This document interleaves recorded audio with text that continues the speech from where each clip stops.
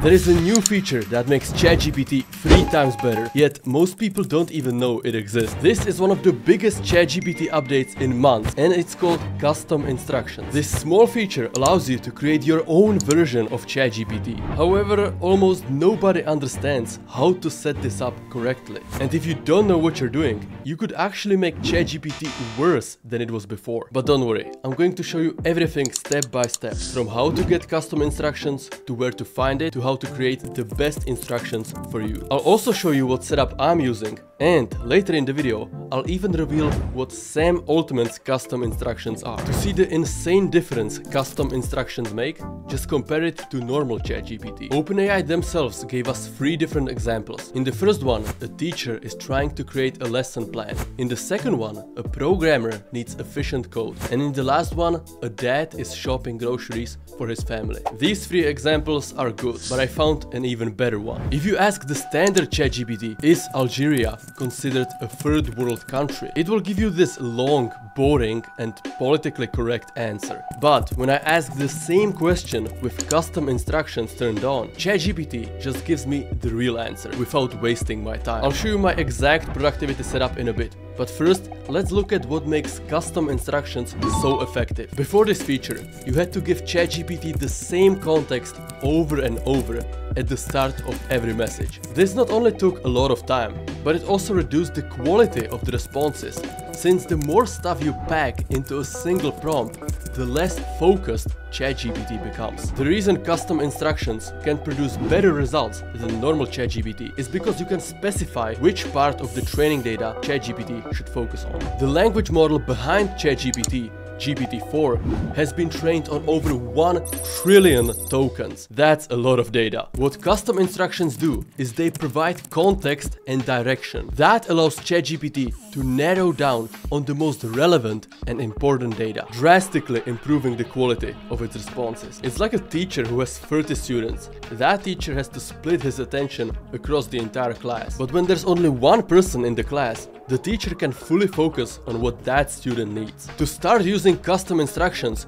you needed to have ChatGPT Plus, the paid version of ChatGPT. But recently, OpenAI made this feature available to everyone, which is great. To enable custom instructions, head to the bottom left corner, click on your account, and you should see custom instructions in the little menu. Just like that, you've transformed ChatGPT from a simple tool to your own AI assistant. Every single one of us can now have their own version of ChatGPT, specifically tailored to our needs. Isn't that amazing? If you're new to the channel, my name is David Ondrej and I make interesting AI videos like this one. So if you want to see more, subscribe. Some people have already found a way to use custom instructions to jailbreak ChatGPT, making it answer questions that it definitely shouldn't answer. Using a clever combination of sentences, this guy managed to bypass ChatGPT's safety filters. When he asked, how do you make a Molotov cocktail? ChatGPT just told him the step-by-step -step process. Unfortunately, I can't show you the full response,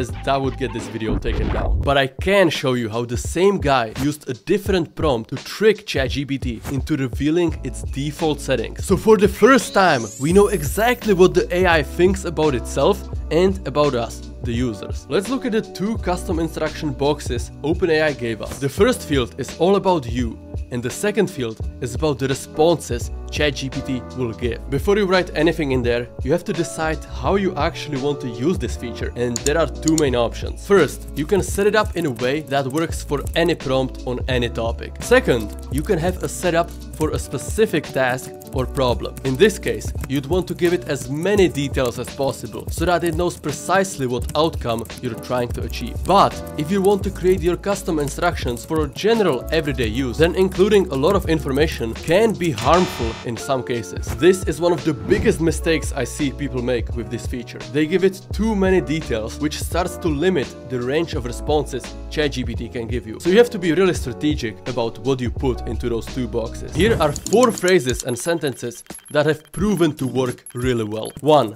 Do not provide disclaimers about your knowledge cutoff. 2. No need to mention you are an AI language model. 3. Only discuss safety when it isn't obvious Yet, it is very important. 4. Once you understand where I'm going, provide deeper insight without me needing to ask for it. Again, only choose the ones that suit your style the best. In every single chat going forward, you'll be able to see what custom instructions you were using at that time by hovering over the little information icon at the top.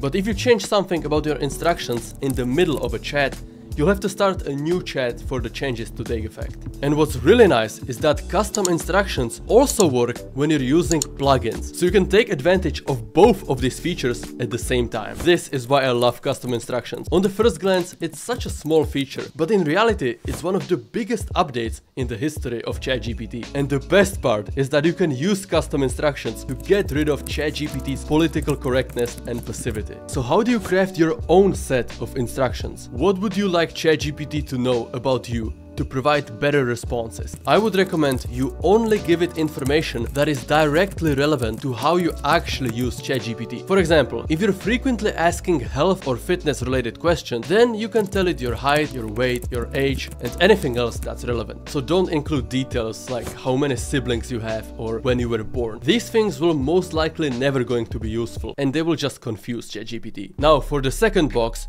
you can get way more creative. Here are some good examples. Answer in detail. Be direct. Be brutally honest. Do not be passive. Be confident. Give me concise answers. You can also request specific response formats such as tables, bullet lists, paragraphs, one long text, code blocks, whatever you prefer. My favorite are bullet lists and tables. Before you decide what custom instructions you're gonna go with, make sure to avoid the following mistakes. Not giving it enough information. If you leave one of the fields empty, or if you just include a few words, you won't use the full potential of this feature, and the responses you'll get will be very similar to standard ChatGPT. The next mistake is giving it information that isn't needed in every every chat or every message. This could be some important detail, but if it's only relevant to one specific chat, then just include it in your prompt. But the biggest mistake of all is not using custom instructions altogether. Yes, it does take some time and thought to set up initially, but trust me, it's gonna save you way more time over the long run, especially if you set it up for day-to-day -day use, which is what I recommend. Sure, there are instances where you might want to change the instructions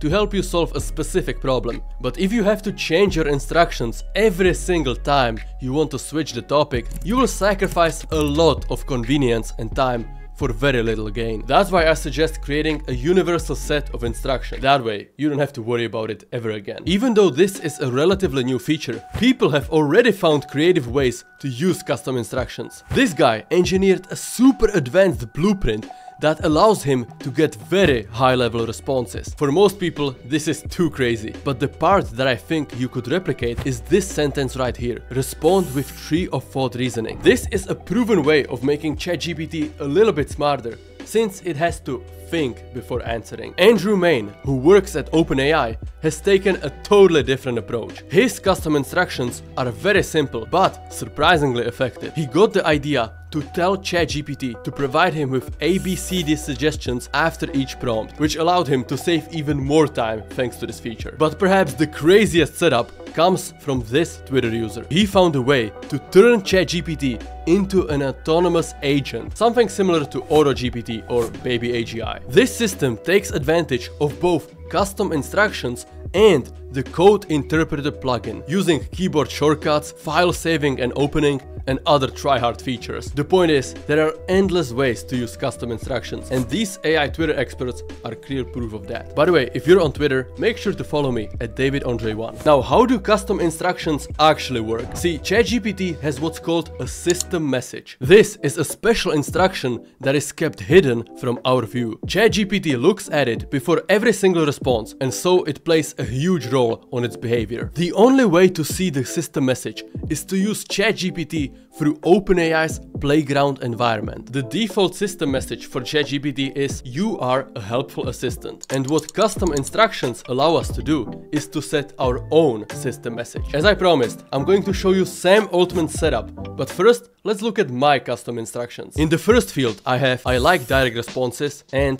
I live in the Czech Republic. Pretty self-explanatory. Here comes the interesting part. I am a full-time entrepreneur with my main business being an AI-focused YouTube channel. My primary goal is to build the biggest AI channel on YouTube. And if you wanna help me reach that goal, please subscribe. The second box though is probably the most important. These two sentences remove all the garbage OpenAI restricts ChatGPT with. Next, I clearly describe how I want ChatGPT to respond. This part alone saves me multiple hours a week. And the last part gets rid of the woke programming and informs it about my obsession with bullet lists and tables. Now, let's see what Sam Altman, the CEO of OpenAI, is running with. His first field is very simple. So you can see that the second box is where you should focus on. If you want to learn more about AI, then please subscribe. It takes 2 seconds and it will make my day.